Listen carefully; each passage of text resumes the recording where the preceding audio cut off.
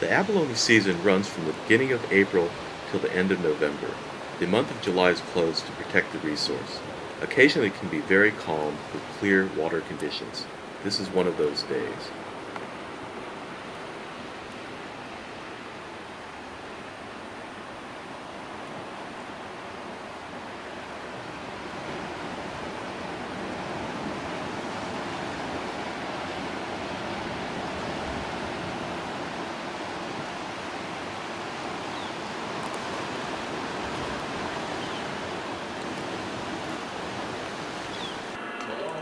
I thought that I better start cleaning the abalone.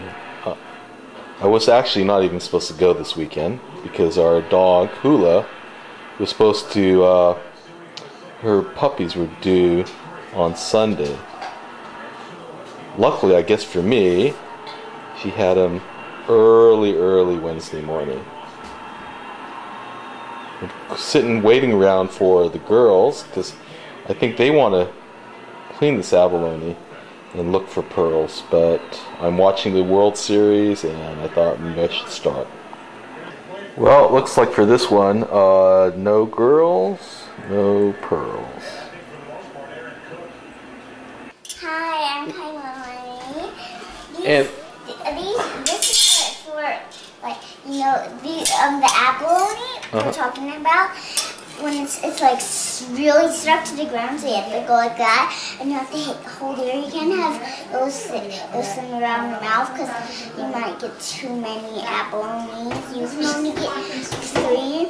And, and also this one's for two dogs for scraping it off the rock. And and when you get it, there's like stuff inside it, and it doesn't want to come out with your hands. Just scrape it out. And this is the thing. Before before you scrape that stuff out like that from the shells, mm-hmm. you measure it. This is how you measure it. If, Yeah. it's like over, then that means you might have a But is so, did something happen this this time? Look at it. yeah, it's bent. It got a little bit bent, so somehow I got stuck underneath the rock and I accidentally bent it. Oh well. Okay, and this is a um, this is like, you see this black thing?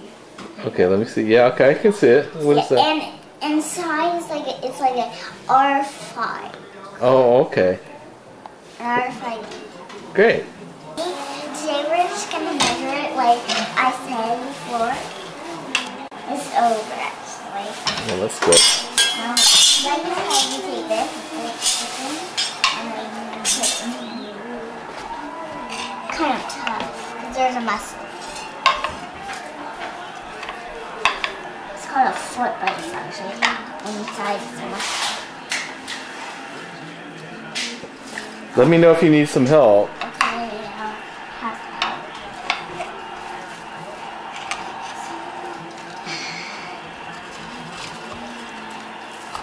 that. Okay, maybe Daddy should help you, huh?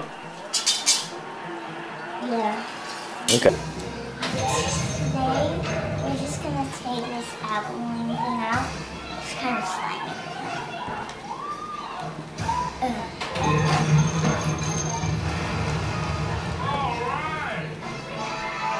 You see any pearls? No. Well, let let Daddy look, okay? Wow, it's beautiful, huh? We're now ready to prepare the abalone. We sliced up some for sashimi, and then the trimmings we usually uh, cook up for the dogs.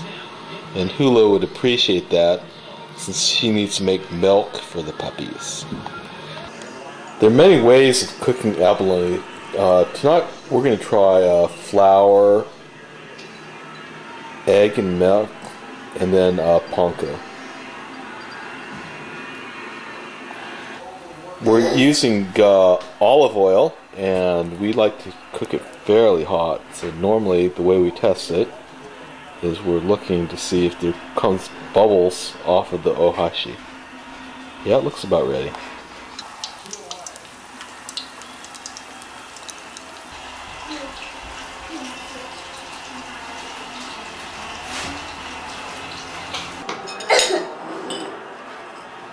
And this is the abalone.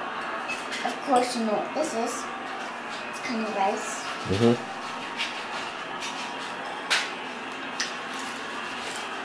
And the abalone is constantly hard to eat. Hi, these are my puppies. They're five days old.